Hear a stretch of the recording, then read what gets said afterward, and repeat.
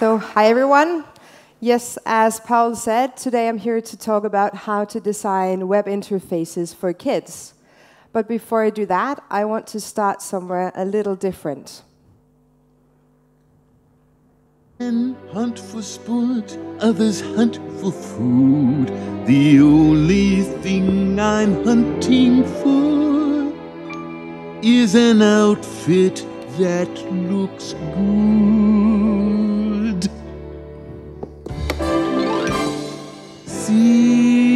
My vest, see my vest made from real gorilla chest. Feel this sweater, there's no better than authentic Irish setter. See this hat, twas my cat, my evening wear, vampire bat.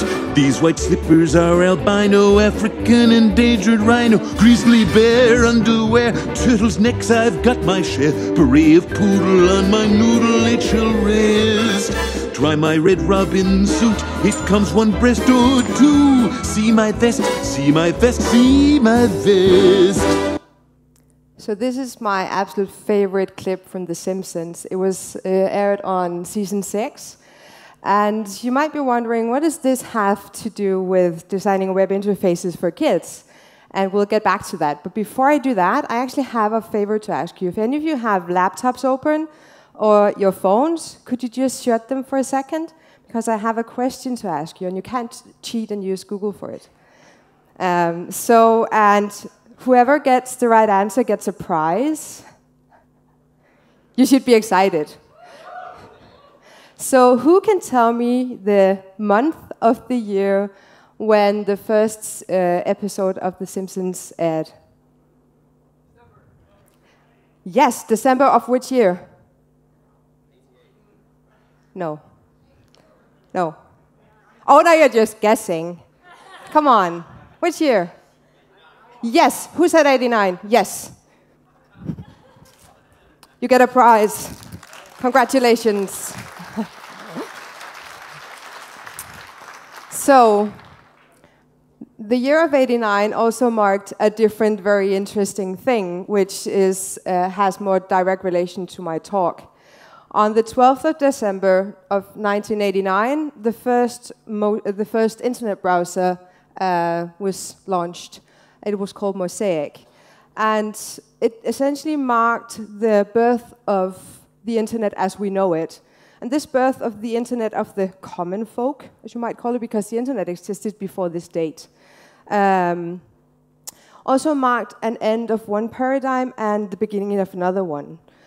So, uh, those of us who were born before the internet became the primary resource of information and entertainment, live in a more analog paradigm, and I'm one of those people.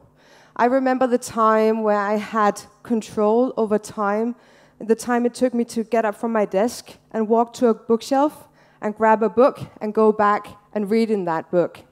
So I had a sense of control over time. I could choose to walk slowly or walk, walk really uh, fast, which would be opposite of what I just did.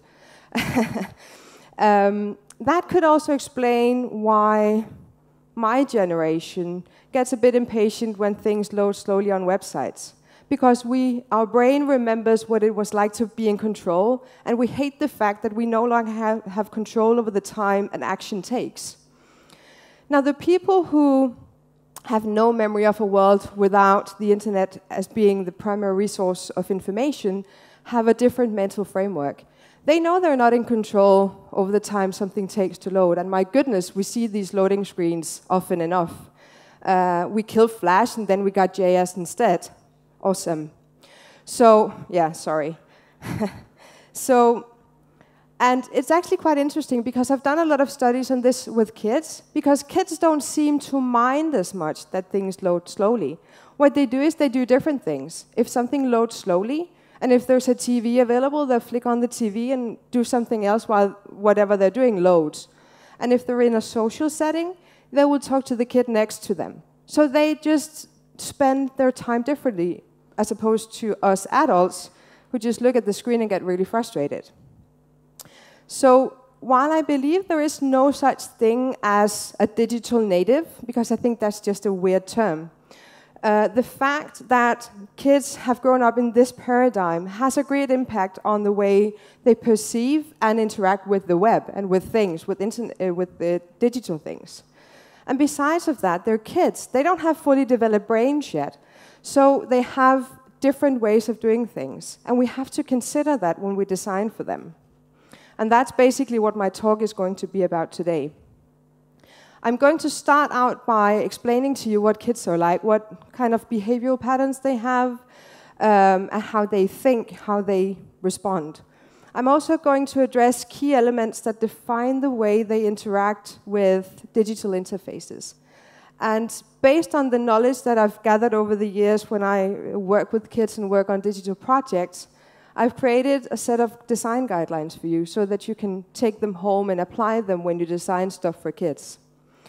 Um, and I think these guidelines are not just useful when you do entertainment sites, but specifically when you do information sites, learning content, or it could be if you're working in, I don't know, healthcare or doing social services or public, uh, public service.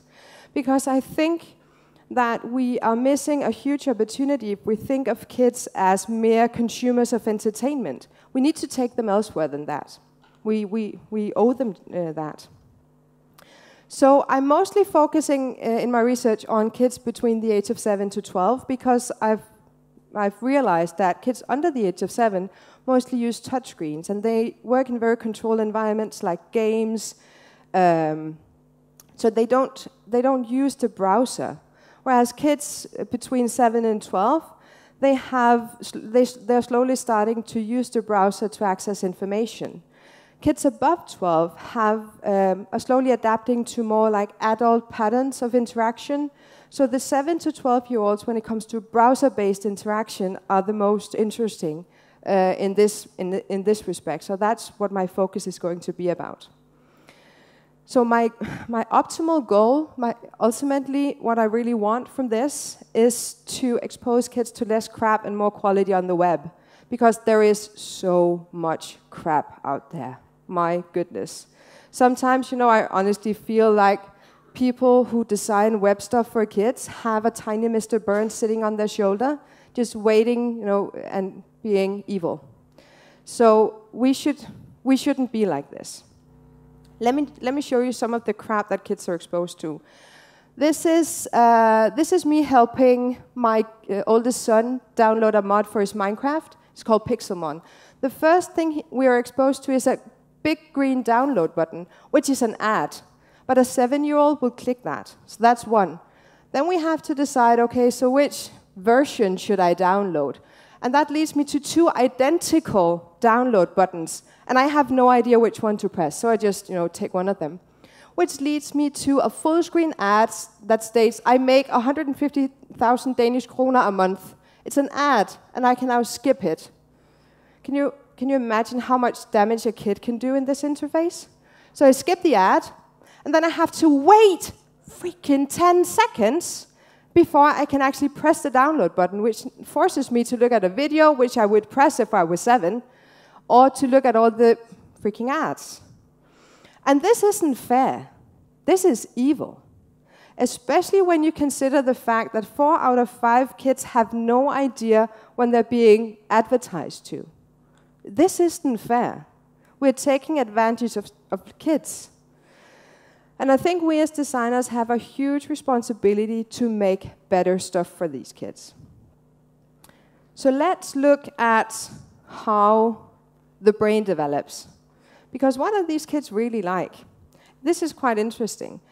Uh, at the age of two, kids will have developed sort of a sense of self, but they have very few mental models uh, created in their brains. They also have very rough motor skills. They can't draw a straight line with a pencil, but they can actually swipe an iPad and you know, press on an iPad at this age, even a, a little younger. So I did a study with 80 different kids, and the results were pretty clear. Uh, kids at this age and up to the age of four primarily use tablets they, they don't have access to computers. They don't have access to anything that they can break in that respect. So when they reach the age of six, the frontal lobe slowly, uh, slowly starts maturing, and that's also the age where you can start teaching kids to concentrate for a longer period of time. Boys are much slower than this at this than girls, which is a general thing for brain development. And I'm not saying that to be funny. It's, it's, a, it's, a, it's a fact. Uh, but at this age, they also start developing empathy. So this is where you can start speaking about, speaking about empathy to them and teaching them that. At this age, they can cut uh, precisely with a pair of scissors. That tells you a little bit about their motor skills. So, but it isn't until the age of 10 that fine motor skills are fully developed. And that's quite interesting because that has a big impact on their physical ability to control an interface, for instance, or control a mouse and click something in an interface. So your average 10-year-old has the physical skill to uh, operate an interface, but what they're lacking is one major thing, and one thing that makes them very, very different from adults. That is the, the ability to think abstractly, which actually doesn't appear or start developing until the age of 12. And this, this um, ability to think abstractly is quite crucial. Uh, and you know what? The brain is actually isn't fully developed until the age of 26. So everyone in here who's younger than this, there's still hope for you, which is good. Um, but this, this ability to think abstractly is uh, crucial because this ability enables us to predict consequences and also to reflect on the consequences of our actions. So an eight-year-old can predict that if he knocks over a glass of water into a computer, the computer will probably suffer to some degree. What he cannot realize or fully you know, accept is that it has to go into repair, it might be broken forever, and two weeks after he's back from repair, I guarantee you, he'll come to you and ask you for a glass of water to, to you know, have by his computer again because he will have forgotten the consequences. I know this from personal experience. Oh my God, kids. And if we put this into a more directly related context, if a 10-year-old clicks an ad like this or, and, and gets to this ad page, he will, what will happen to him is he will be annoyed that his road to the goal is disturbed, right? Because his goal is downloading a mod for Minecraft. But what he can't realize or can't fully predict is uh, if he clicks something by mistake and downloads malware, and he does that 20 times, all of a sudden his computer will have a meltdown. And it will have to uh, go into repair, and that will cost his parents a lot of money, and then it will come back, and then he'll probably do the same thing again, and again, and again, because he cannot predict the consequences of his actions, and he cannot reflect on it. And that ability isn't fully developed until the age of 26. Wow. That, um, sorry, there we go. This lack of ability of fully realizing the consequences of your actions will explain also to you why teenagers seem to think that they're um, immortal and do crazy, deadly, stupid stuff, like this guy.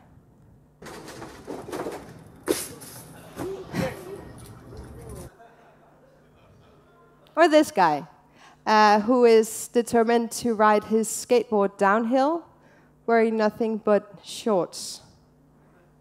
Australia.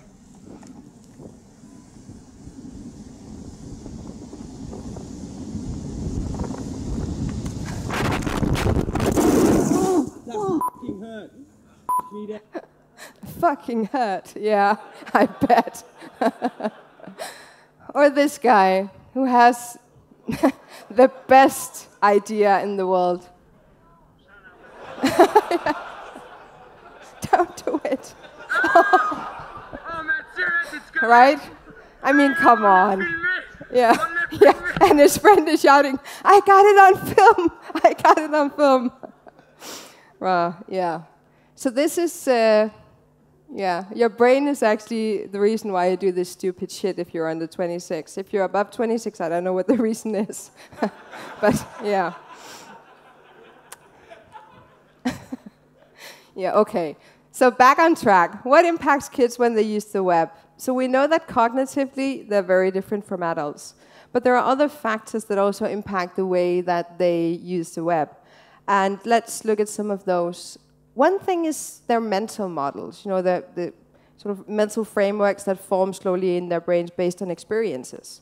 So uh, the first experiences that most kids have with digital interfaces are through, this is from an iPad, but through a tablet. And they mostly use games and the YouTube app. They, they are not exposed to the browser yet. So this, uh, at an early age, this is what they play with. And so this shapes their mental models in a way that we have to consider when we design for them. Um, because what defines these interfaces is that they are full of buttons and images and have very little text. And we really need to consider these things because the, the question is do kids then transfer these conventions to browsers when they start using browsers? And do, they do to a certain extent because they become very used to these interfaces who have buttons for navigation and they also get to know the video. Um, video screen very well, so they know the play and pause buttons and stuff like that the full screen. My three and a half year old knows what, uh, how to press the full screen, also knows to, how to pause the video. Uh, so, I mean, they develop these mental schemas very quickly. Another thing that impacts them hugely is language skills. A language is essentially a, set, a system, right? A set of symbols that we need to learn how to decode before we can master them and manip manipulate them. and our language skill start developing actually before we're born, which is quite interesting. Um, but we can't speak, we can't start speaking before we get physical control over the tongue and mouth. But that doesn't mean that kids don't understand and that, that, that they are not able to communicate. It just means that they don't have the physical skill to do it yet. Let me give you an example. Uh, when my, I have two boys, uh, three and seven now. When my youngest boy was about 13, year, 13 months old, he knew about 20 words through sign language. He could hardly speak a word, but because we also communicated through simple sign language at home. Not because anyone, any one of us needed, but just be, to be able to communicate. He actually knew about 20 words. So he could ask for olives or that he wanted to read a book. And he was 13 months old, which was amazing because he didn't have the physical skill. And my point is, he didn't have the physical skill to, to speak the words, but we can provide tools, in this case, sign language, to work around the fact that we can't communicate in this given system. We can provide a different kind of system. And we can do the same for kids when it comes to web interfaces. So, kids learn to read around the age of, in Denmark at least, around six. But it isn't until much later that they can actually write as well and spell. So the reading, uh, the reading abilities come faster than writing and spelling, which again has an impact when we design navigation, search, content. Um, so if you're thinking, well, if you're designing for kids who know how to read, we're fine. We don't have to consider all these things. But you're wrong. Because if you're designing for, for a global user group, if you're designing for a very specific geographical area, sure, you can, you can go ahead and, and rely on that. But if you design, um, if you design with uh, international content, then you have to consider that the kids you're designing for might have their native language all set, but they don't have English language abilities yet. So again, they're like a 10-year-old with full physical abilities, but they're like a six-year-old and a five-year-old when it comes to their verbal language and their ability to read. So so they're pretty much you know, screwed if, if they can't read what you're, what you're providing for them. Their experience is quite similar that, to your experience right now. This is, uh, do, do any one of you know what this website is? Alibaba, yeah, yeah, okay. So you're actually, you can't, you can't uh, answer this because you're from the Far East. but otherwise, yeah, I chose an example where I was pretty sure that almost no one in the room would be able to read this. So this is the kind of experience that kids have when they enter a website that they can't, where they can't decode the language. This is what you're, what you're exposing them to. So what do we rely on when we look at an interface that we can't decode? We rely on conventions, navigation, global navigation, images. We have a sense that we might be able to buy stuff here, right? clothes and items and stuff, and we have a global navigation. So kids do the exact same thing. They use the tools they have at hand, and they use icons and images to make sense of the interface, to try to decode it. That explains why a three-year-old is able to use the YouTube app to a certain extent, and why a non-English kid at the age of eight can play Minecraft or some kind of browser-based game on Y8 or whatever. Um, because what they do is they, they make sense of the interface based on conventions and buttons and placement. And then that is stored into their muscle memory so that they know that if I click this button that's placed right here, this happens. And I get to the right place. I get to the game that I want to play. And so, so they're very determined or very dependent on their muscle memory. And we have to consider that as well. So mental models, abstract thought, motor skills, language have a big impact. uh, and I, I, would really love to dig more into some behaviors and skill sets. Because what I've done is I've, I've, based on the knowledge that I have on this, I've created these 10 guidelines. So far 10, there are so many other things to consider, but we'll start with 10. To, um, to try to figure out how do we consider all these things when we design. And that's what I'm going to share with you now. Design guideline number one, simple data entry. The fact is that inter interacting with an interface is a physical skill. People forget that. They think it's all about the brain, but it's very much a physical skill. Uh, and the fine motor skills aren't fully developed until the age of around 10. So this is, uh, this is just a, uh, a recording, an observation recording I did with an eight-year-old who's logging into the internet uh, at school. Notice his one hand, very slow movement. It actually took him around 15 seconds to enter a, a, a, a username and a password. 15 seconds. This is a very big contrast to when you see a 10-year-old who can actually type with two hands. They can typically, typically type with two hands when they're around 10. So this is how fast development goes as far as motor skills are concerned. So if you're designing for eight-year-olds or below that uh, age, keep the data entry requirements really, really simple. Design guideline number two, use buttons, not text links for navigation. Um, a two-year-old can't operate a keyboard, but they can use an iPad and they know how to navigate on a tablet. And most six-year-olds can operate you know, a computer mouse.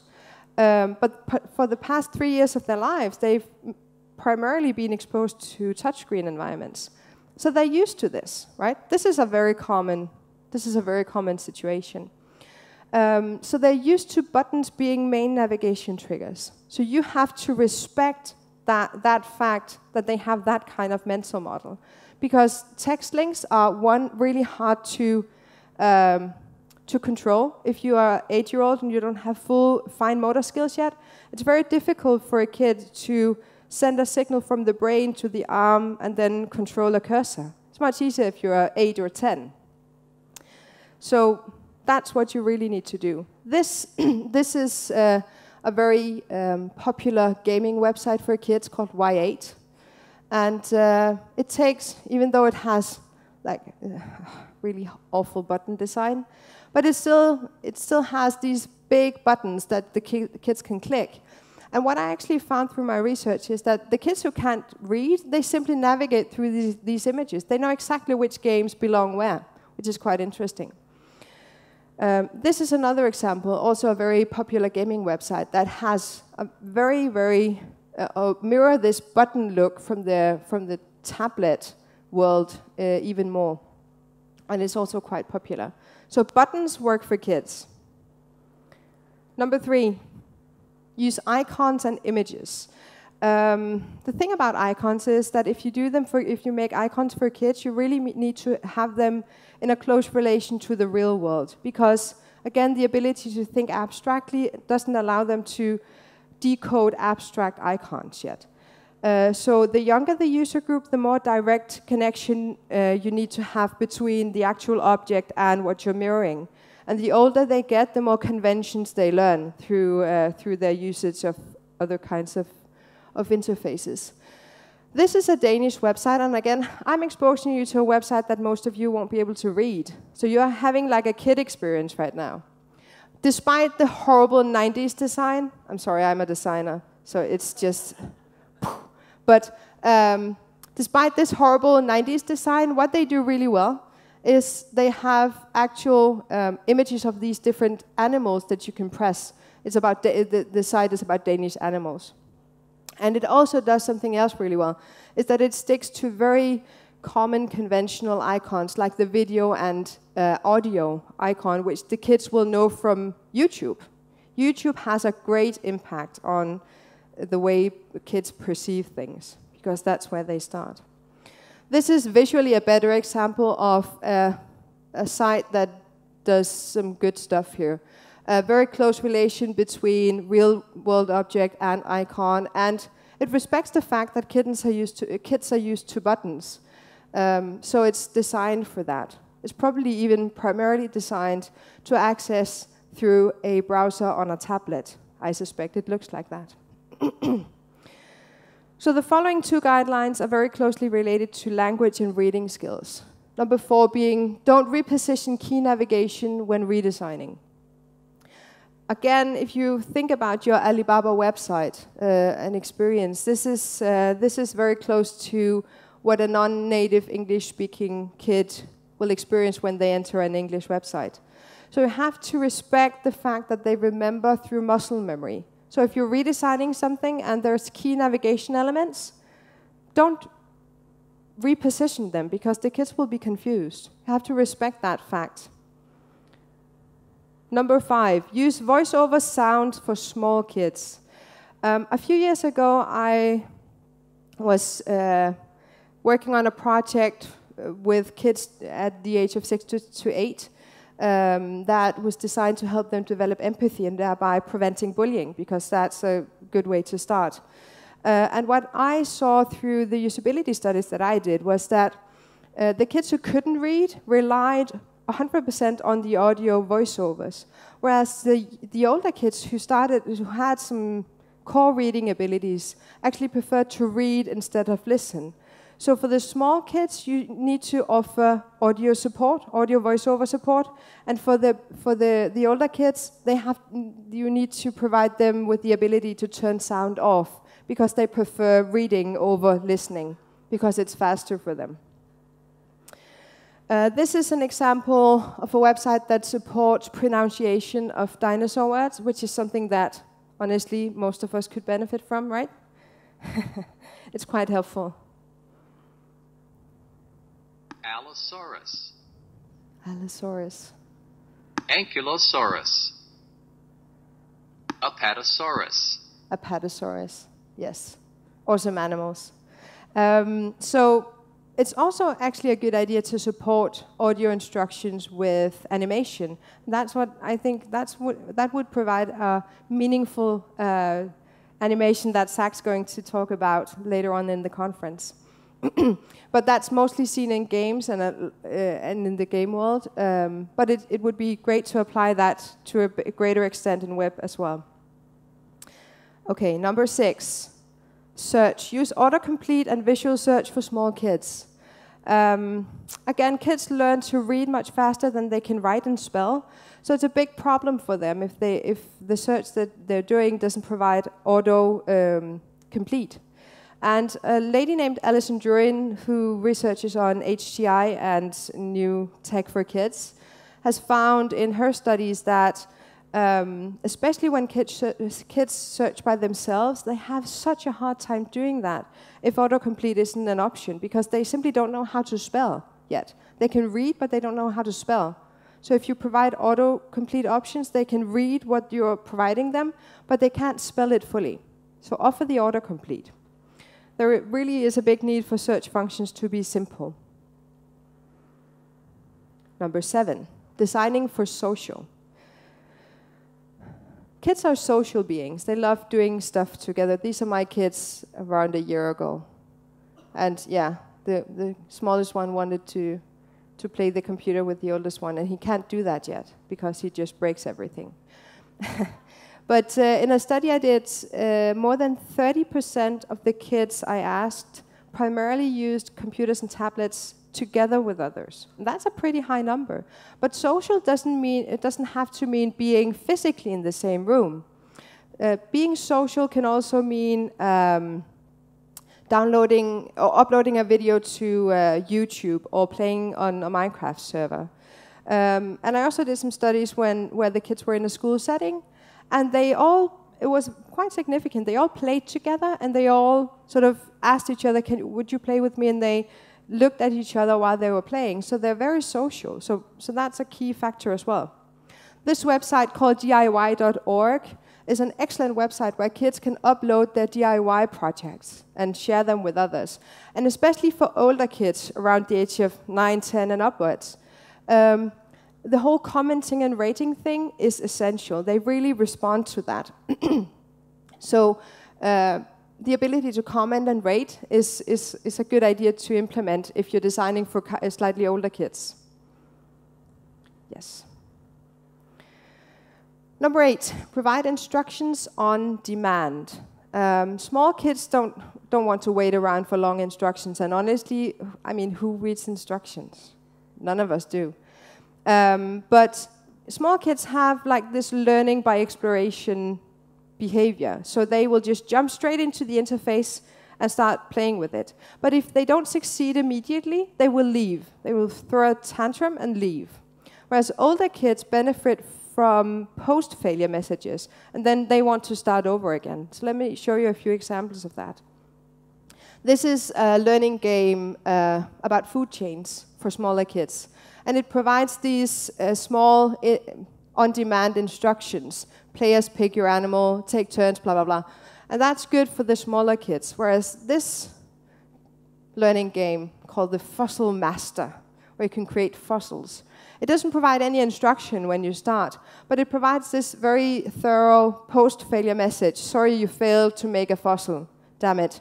And then you have to, it explains to you what you have to do to actually make the fossil, what you have to do different next time. So that's, uh, that's a good thing. Number nine, design for play. More than anything, kids are playful, and they will turn anything into a competition. So use quizzes and gamification things, levels, points, rewards, whatever. If you want, if you want to have the kids move forward in your communication, that's what you want to do. Like this, uh, again, the fossil maker actually provides that, which is quite good. Levels in this respect would have been great as well, because that also makes them want to sort of move forward. Yes. So the 10th design guideline isn't a design guideline, has to do with testing. As in any project, testing is crucial.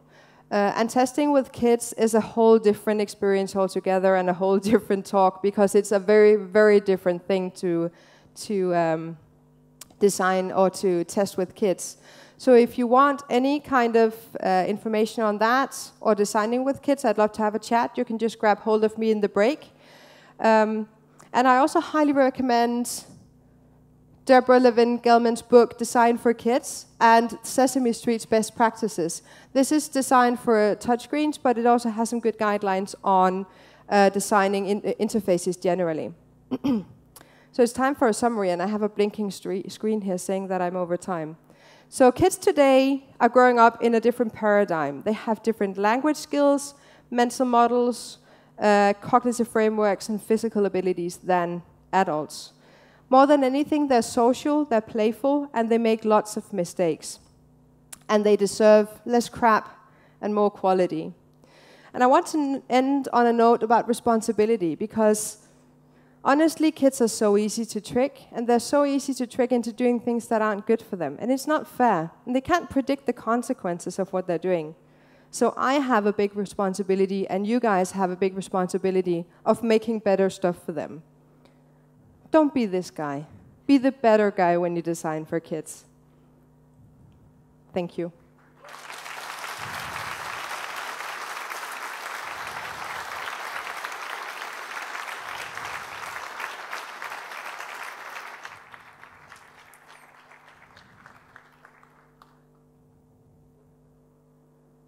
Moment for questions? Sure. Yeah. Any questions?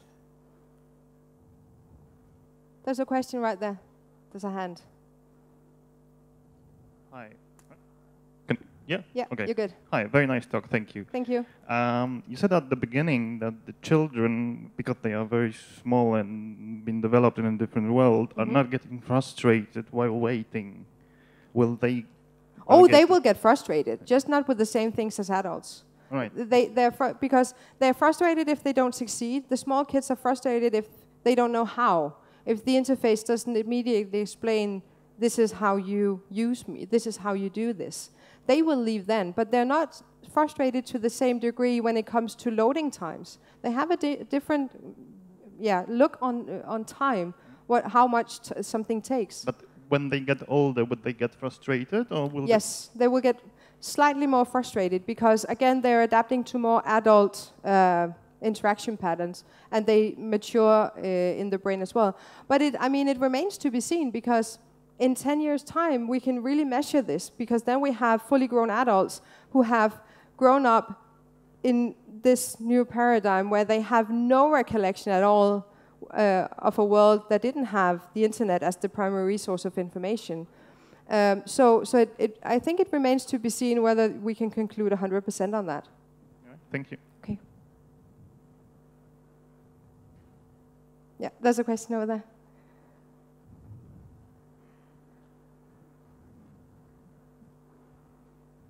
Uh, hi, hello. Hi. Um, how do you sell to kids? You can't ask them uh, to pay. You have to tell them to tell your parents to pay.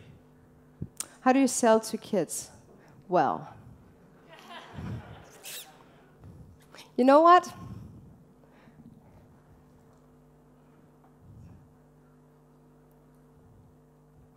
Don't be this guy. I have an answer for it, but don't be this guy. We can talk in the break. Yes. Yeah, there's a question over there. Uh, so uh, you told us that we should assume that kids are used to tablets and uh, to YouTube. Yeah. But as trends come and go, uh, isn't it a bit too, uh, I don't know, uh, narrow to assume that, for example, since a couple of years ago tablets weren't that popular, and maybe in in a couple of years they they will stop being? I'm not sure. Under where are you sitting? Because I have a hard. Can Uh, you just here. raise your hand? Where I'm are you? here. Oh, there you. are. Yeah, I thought it was in front. Could you? Could you? You're saying that. Yeah, that that, isn't it uh, too big of an assumption uh, to think that uh, in future kids uh, will still be used to uh, tablets and YouTube? Doesn't this change with time? yeah, sure. But the fact is that in five years' time, a two-year-old and a three-year-old still won't be able to to control a keyboard because they are not mentally and physically prepared. There's a reason why kids didn't use that kind of stuff before the iPad, because they simply don't have the physical control it takes to do that. They can't. I mean, have you ever tried to? Have you seen a three-year-old try to operate a mouse? It's. I mean, they can't. So, so, so yeah, there might be a new kind of device, but if it doesn't, it, if it doesn't cater to their very simple motor skills and simple cognitive uh, schemas, I mean, I don't see why they could use it. But sure, tablets aren't necessarily, you know, future safe. Is there time for one more question, or should we? Yeah, there was one in front here. Yeah, yeah. You mentioned.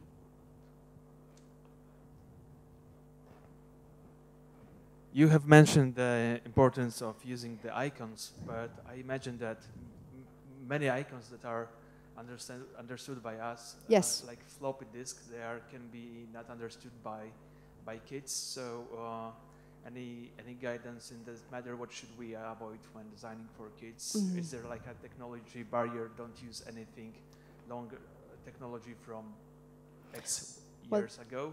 the the older kids get, the more conventions they're exposed to, so they will slowly adapt to more conventional icons that you and I understand. But if they're really small, really young, you need to have a very very close connection to the object you're trying to make an icon for. So, uh, so there is a very narrow limit as to how many icons you can, can expose a five-year-old to, as opposed to a ten-year-old. They they develop these conventions because I mean the the icon doesn't necessarily make 100% sense by itself. So the younger the kid, the the more direct connection you need to have with the with the functionality that you're trying to uh, communicate through the icon. Yes. Okay. Okay. Thank you. Thank you very much. Thank you very much.